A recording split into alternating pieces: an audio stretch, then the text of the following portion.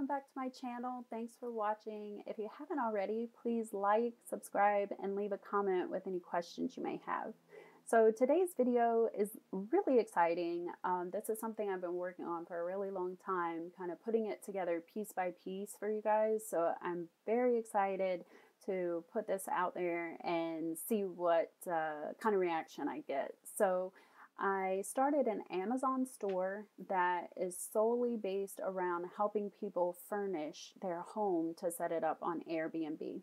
So, with that being said, um, it is primarily for Airbnb, but if you are just furnishing your home for your own use, this also comes in really handy. So, what I did, um, I started this Amazon store and I've come up with lists of different items that you will need for your home. So I have a few videos here on items that I've talked about on YouTube, um, like the ring cameras and the self check in um, for the igloo home. So those are great videos to check out for different products that I recommend. Um, and here you see I have lists for every room in the house the bedroom, kitchen, laundry room, everything. So the idea behind this was um, when we bought our house in Drax Hall, it's a three bedroom, three bath house, and I spent so much time putting together lists of what I would need and searching online for lists that were already out there. And then I would go through my kitchen in my house here in New York and um, go through my drawers and see all the things I had, like spatulas, wine wine bottle openers, um, can opener, a blender, all these different things that you need in a kitchen. Um, if you're a female out there, you get what I'm saying. There are just a lot of little things, especially in a kitchen, that you might not remember when you're putting together um, a list of things to buy to furnish a home from scratch. So, when you get these homes, if it's in a new development in Jamaica, it will come with absolutely nothing. So, you have to start um, from scratch. So, like I said, I spent a lot of time putting together lists for Drax Hall and trying to figure out okay, where would I buy certain items, which would be the best um, place to buy small items like kitchen uh, utensils, and then where should I buy my large appliances. So, what we came to was we ended up buying our appliances and our large furniture, like the bed and couch, in Jamaica. Um, and there's a link on my website, sidehustlemama.co, um, that has all that information for the furniture and appliance store.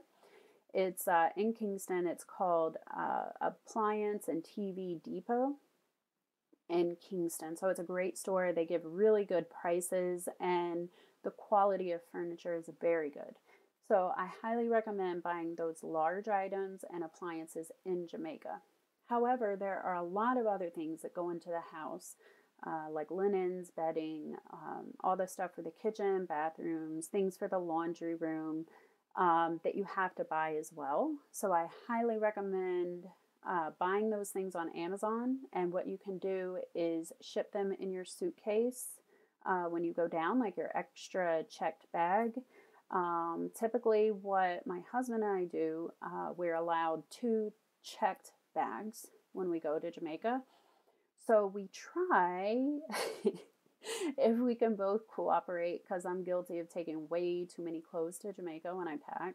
Um, I always bring so many things and I never end up using them, but um, I end up wearing tank tops and shorts the whole time I'm there. But um, if we can, we try to pack everything in one checked bag um, for our personal items and our carry on.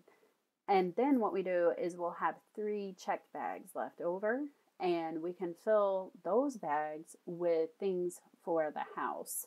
Um, and I still do this today because even though we're not setting up a new house, every time we go down, there's always things that you want to replace, like towels or sheets, um, dishes, different things like that. So you can pack those in your checked bag um, so you don't have to pay extra to ship those down. Um, with that being said, when we bought the house in Drax Hall, we did ship uh, four barrels down um, to set everything up. Because, like I said, it was a three bedroom house, so we had uh, three bedrooms to furnish. That's sets of sheets, sets of towels, everything for the bathrooms. So I found it helpful to use four barrels because we just had the volume of stuff we had was just a lot um, to begin with. So that's a great way to get things down to Jamaica. Um, I don't know what the cost is from every place because um, I know a lot of you are in Canada and the UK, um, but here in New York, you can buy a barrel for about 50 US dollars and ship it down for roughly between 50 and 100 dollars um, to Jamaica. So it's a pretty cost effective way to get your items down there. So you can pack all the sheets, the towels, your curtains. Um, we even put, we shipped down two TVs um, when we did the barrels. So it's, um, you can really fit a lot in there and there's no weight restrictions. Whatever you can fit in the barrel will go. Um, so that's one thing to keep in mind also because when you're taking things down in your check bag, you obviously have some weight restrictions. Um, so you have to keep that in mind as well and balance out what you might put in a barrel versus what you would put in your checked bag. So let me just give you guys an idea of what is on this list. Um, I'll look at the kitchen list for the ladies out there. We always care about the kitchens. So um, I have everything you will need to set up the house really nicely, down to some decorations like a fruit bowl for the table and some different options.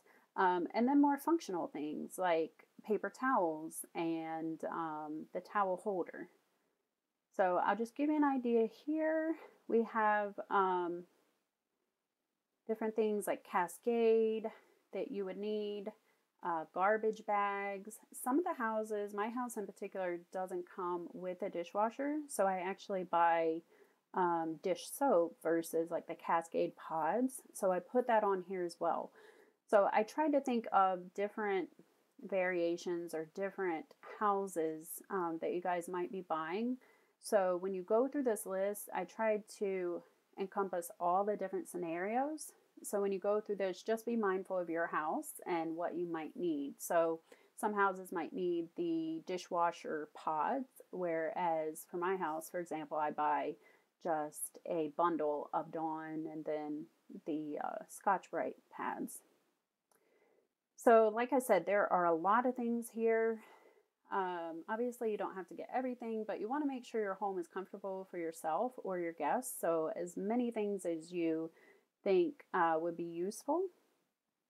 Uh, we have wine glasses, Keurig machine, um, different plates and bowls. Um, we put a couple different silverware or flatware sets. And then I know this might sound odd to some people that I have oil and salt and pepper here, but if you're familiar with Airbnb, um, in order to say that your home has cooking basics um, you have to say that you have oil, salt, and pepper. So that might seem funny, but um, to be able to check that box on Airbnb, you need these things. Um, so it's good to have just in the house for people who want to cook. All right, so the laundry room, I'll show you this list. Uh, we have things like dustpan, um, Swiffer. I really love that for my house because I don't like to mop. so I find the mop is just really, I'm not accustomed to it. It's not something I grew up with. Um, so I um, really like the Swiffer. It's very easy, it's very effective. We have the tile floor, like most houses in Jamaica, and um, it works really well. So if you just sweep and then use the um, wet Swiffer, it works really well. So um, I'm kind of partial to the Swiffer products. They're really good. So we have some of those there um, Windex for the mirrors and if you have a glass shower, and all the things you need for the washer and dryer. And then obviously right now it's really important to have Lysol wipes to clean everything really well in between guests. So we have an iron and ironing board. So a lot of great things for the laundry room. Um, another thing that I thought was cool all the houses in Jamaica pretty much have a veranda. So I put some items here. um, that would really dress up the veranda as far as lighting and rugs. So I thought those would be fun. They're outdoor rugs that really just dress up the space. And then another really important thing is security, um, especially if you're managing your Airbnb from abroad. Um, it's really good to have some sort of security cameras and then also lock boxes so that you can create a self check in Airbnb, which is a really big thing right now because with COVID, sometimes the guests don't like to interact with the host as much. So if you have a self check in, it gives them the option to check in on their own, get the key, and then they don't have that extra interaction with people. So, what we use at our house, um, both of our houses in Jamaica, are the ring cameras and the solar panels, which are awesome. Um, we actually use these at our house in New York too. And even here in New York, where we have kind of some dreary days or the solar panel might be covered up with snow on certain days, we never have to charge these ring cameras, which is a great thing. So, being that we live in New York and our Airbnbs are in Jamaica, um, I never have to worry about the batteries going dead. Um, so that's a really great feature of the ring camera and the solar panel. So I highly recommend those. Um, I have some other videos about this, but just so you guys know, we put one camera in the front to cover the front door and another camera in the back for the back door. Um, that's kind of how we have it set up. Depending on your house, you might want some added cameras for the sides. Um, we have our all of our houses grilled. So I feel like that adds some extra security. Um, but if you prefer to have them on the side of the house as well, then you can do that. And then these products here is the Igloo Lockbox um, that you can sync with your Airbnb calendar. It has been a complete lifesaver. It's completely automated. Um, the code for the lockbox gets sent to the guests 24 hours before they arrive and it expires on the day they leave. So you, as the host, don't have to worry about setting up a new code and putting in the proper date, or maybe you mistype something and then the lockbox doesn't work. It totally takes all the guesswork out of this and makes it so easy. Um, so this is a lockbox that we put around the grill um, at our houses. And then if you have a house that doesn't have a grill, um, some of the newer houses um, that they're doing now, like um, we visited Ocho Rios Country Club and Pyramid Point when we were there in Jamaica.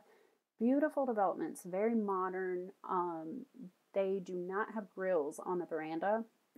so this lockbox here wouldn't be a good option for that sort of house. Um, so they do have another product that is the keypad entry. Um, so you can add this to your house as well for security.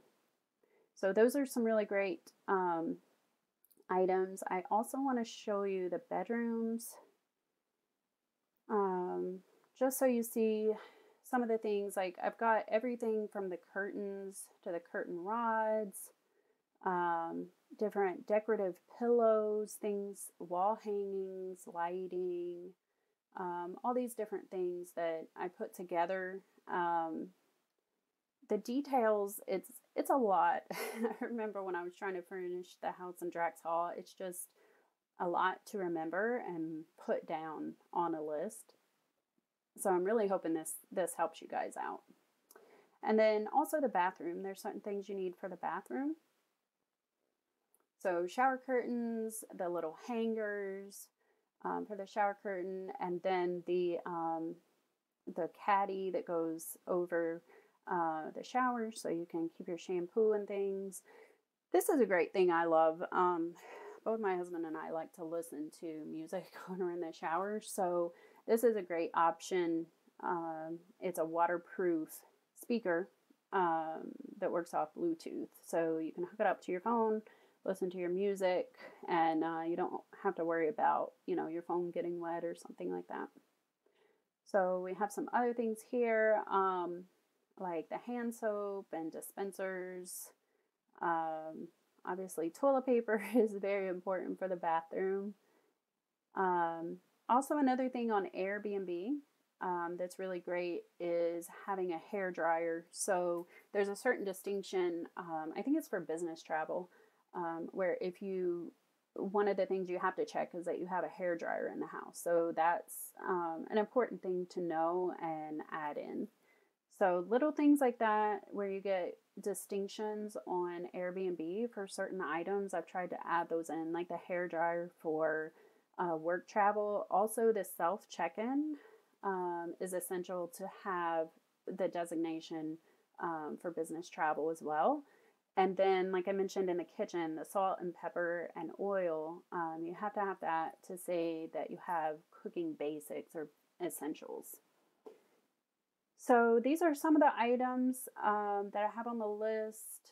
Also, some miscellaneous things that I thought were helpful. Um, ceiling fans, the upright fan, um, and then a garden hose. That's very helpful also. And then your welcome mat.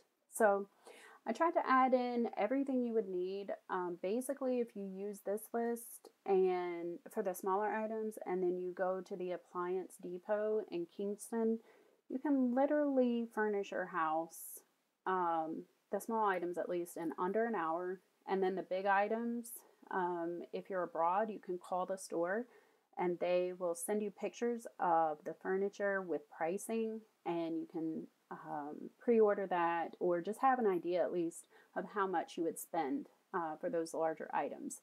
So I'm really interested to see what you guys think. Please leave comments, good, bad, ugly. Um, I want to hear it all um, because I really want to make this list something that's very usable for you guys and something that would make your life so much easier.